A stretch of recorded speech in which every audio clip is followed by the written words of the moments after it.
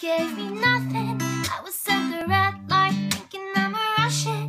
Should it be a lie? You know the butt big, but do I trust it? Oh no, do I trust it? I posted up in the blue velour, feeling like I've been here before, not before, but y'all should hate the new love.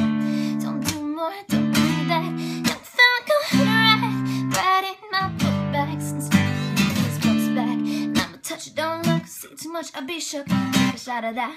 Fuck a crazy hood. Get the paper that would. She a virgin, I'm good. Dream a story, yeah.